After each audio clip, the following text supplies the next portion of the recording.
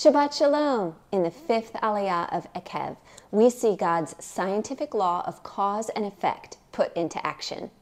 In cause and effect, actions bring reactions. God and his people have a special relationship. Adonai's actions cause Israel's reactions, and Israel's actions cause Adonai's reactions. Let's look at an example. I'm outside on a hot summer day eating an ice cream. But what's happening to my ice cream? It's melting. Oh no, what should I do? Should, should I eat it faster? Should I get a bowl and a spoon? should I throw it away? That's not happening.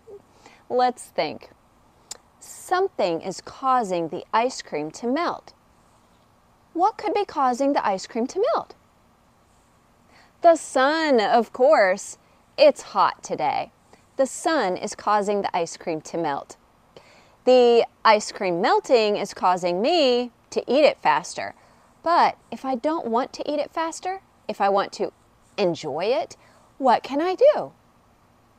Since it is the sun that is causing it to melt fast, I can take it out of the sun. I can take it inside. I could even put it back in the freezer.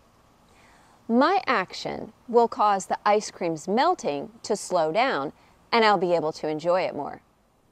So, what kinds of causes and effects can we see between Adonai and his people in the fifth aliyah of Eikev? Adonai requires of Israel to fear God, walk in all his ways, love him, serve him with their heart and soul, and keep his commandments. Why should they do all this? Because Adonai is the owner of all, the creator of all, and he has chosen his people. Adonai's action in creating and choosing his people bring Israel's reactions of loving and serving him. Adonai is God. He is the cause. The effect on Israel is a circumcised heart and doing justice to the widow, orphan, and outsider. When Israel loves God and keeps his commandments, that's a cause. The effect is that God will make them strong and give them the land. The prophet Isaiah shows this special cause and effect relationship. In Isaiah chapter 49, verses 15, 25, and 26, Adonai says, I have engraved you on the palm of my hands. I will oppose your adversary. I will save your children. I, Adonai, am your Savior and Redeemer.